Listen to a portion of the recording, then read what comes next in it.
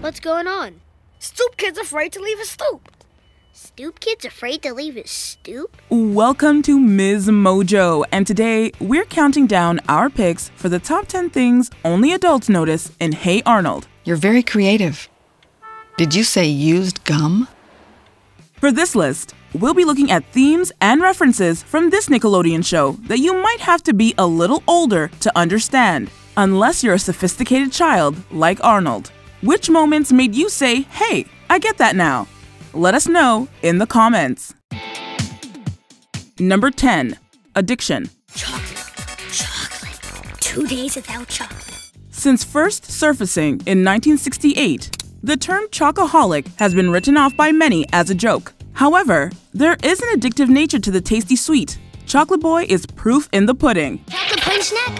Where? Where? Relax, chocolate boy. It was a couple of days ago. And don't go back that fast. Where's in the trash? that kid's got problems. Often seen with a brown ring around his mouth, raggedy clothes, and unhinged eyes, Chocolate Boy is like Bubbles from The Wire if you crossed him with Sonny from Cocoa Puffs. After several appearances, Chocolate Boy is motivated to kick his addiction with some help from Arnold. It turns out that his habit is largely rooted in psychology. He eats chocolate to fill the void left by his nanny, who moved to Delaware. She said goodbye. Be good and be happy. Then she left. And then I went up to my room and ate chocolate. A lot of chocolate. Addressing his abandonment issues, Chocolate Boy gets clean, although he trades one addictive substance for another radishes. Number 9. Orson Welles' War of the Worlds.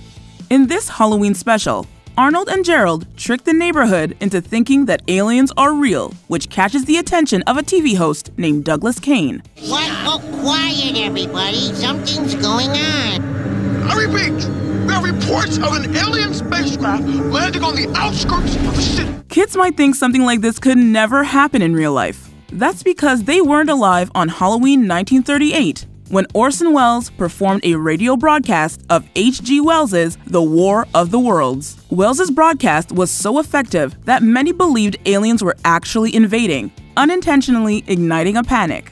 This is a joke, right?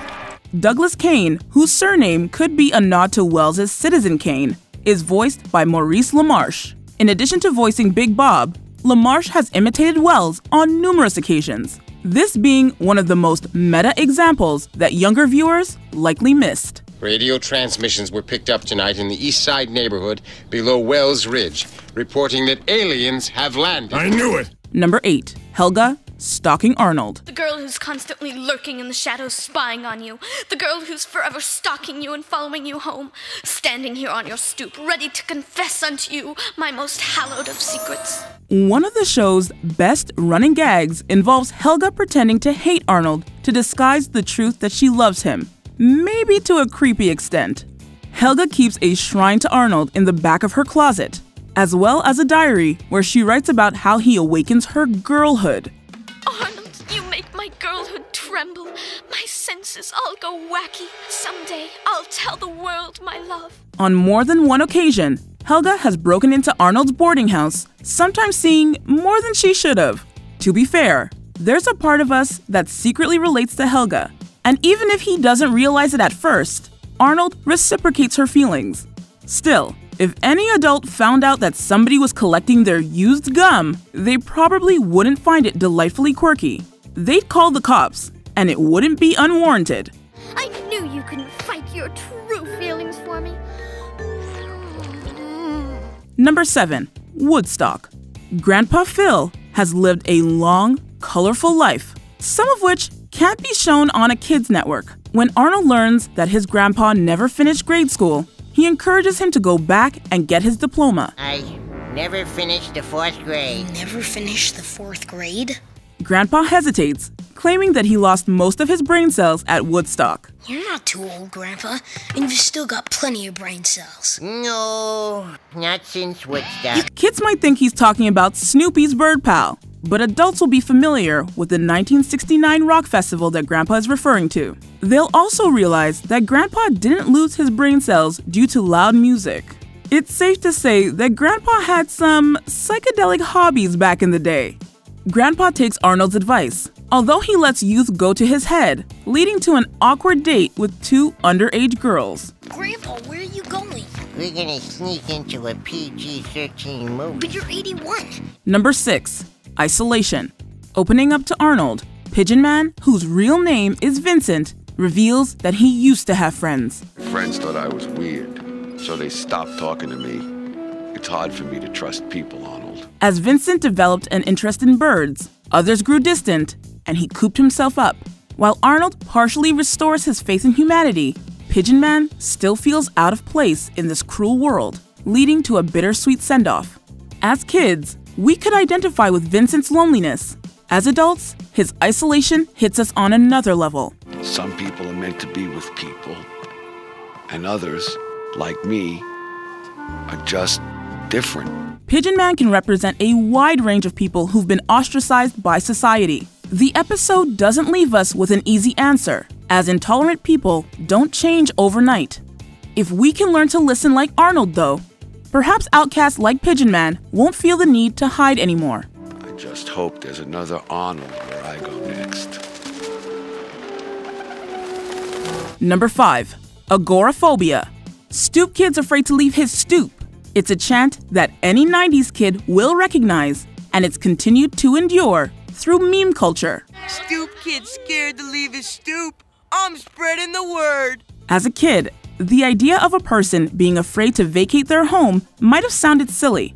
As an adult, you suddenly realize that Stoop Kid is suffering from a very real anxiety disorder, agoraphobia. Maybe if you tried to leave the stoop, people wouldn't make fun of you. No, I can't. What if I tried to help you? It'd just be a waste of time. In addition to those who fear leaving their residence, this mental health condition can apply to people who feel uneasy in crowded areas and open spaces, igniting panic attacks. As Stoop Kid exemplifies, what seems like a small step to some can be a perilous journey for him. Arnold is the only one who takes Stoop Kid's condition seriously, helping him overcome his social phobia.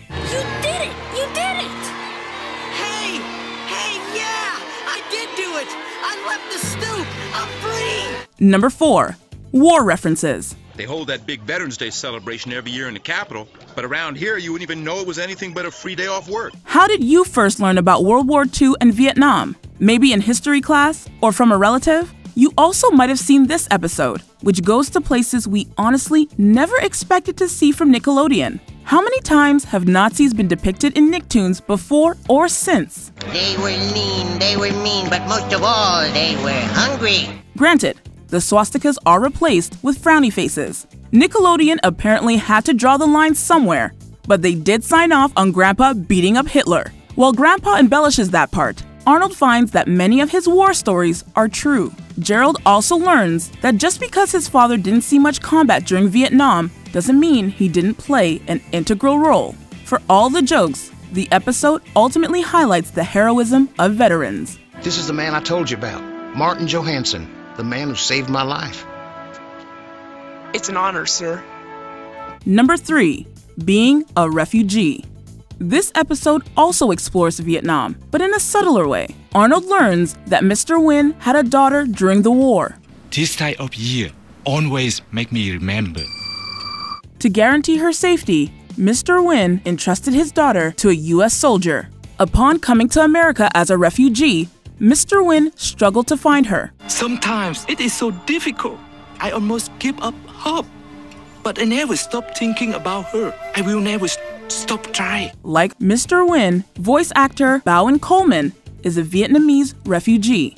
Given his experience, Coleman worked closely with the showrunners to make the episode more authentic without directly mentioning the specific war. This topic proved so heavy handed that Nickelodeon considered pulling the episode.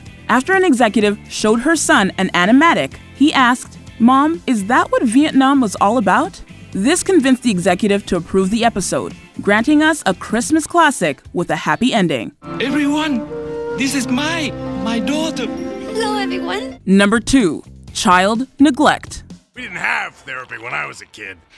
That's obvious. If you ever wondered why Helga acts out, look no further than her family. Her father is an egomaniac who can't remember her name. Her mother is clearly blending her smoothies with something intoxicating. And her sister is an overachiever who casts a wide shadow over her younger sibling. Hey,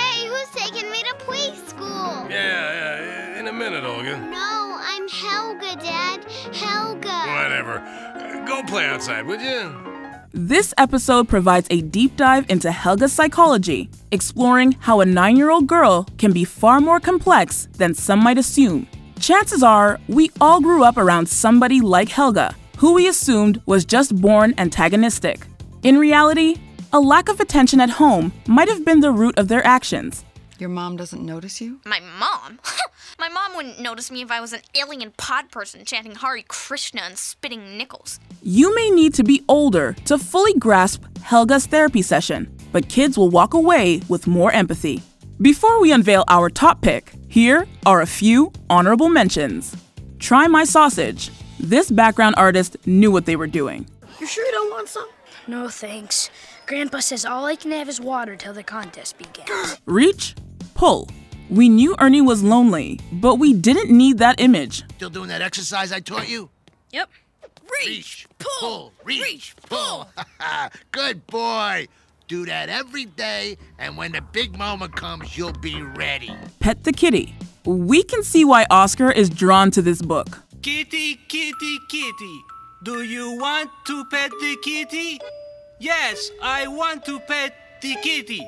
Pet, pet, pet. Miss Felter. Even her name is a tease. Arnold, Arnold, Arnold, Arnold, Arnold, Arnold, Arnold, Arnold, Arnold, Arnold, Arnold, Arnold. Huh? Nantucket. So, how does that poem end? I thought we would take up where you left off on your poetry lesson. I know a poem. There once was a man from Nantucket. That's fine. Have a seat. Before we continue, be sure to subscribe to our channel and ring the bell to get notified about our latest videos. You have the option to be notified for occasional videos or all of them. If you're on your phone, make sure you go into your settings and switch on notifications. Number 1. Abandonment. Bye, Mommy. Bye, Daddy.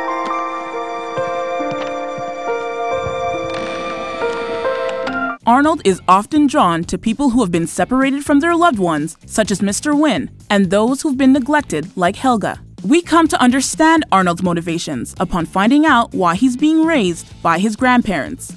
Unlike some absent parents, Arnold's mom and dad left for noble reasons, with the intention of returning.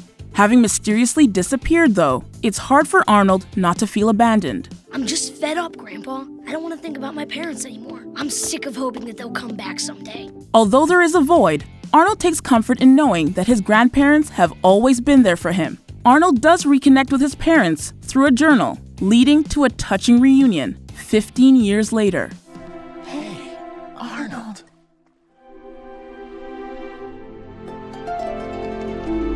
Ironically, by that point, the kids who grew up with the show were mature enough to appreciate Arnold's nuances. Do you agree with our picks? Check out this other recent clip from Ms. Mojo and be sure to subscribe and ring the bell to be notified about our latest videos.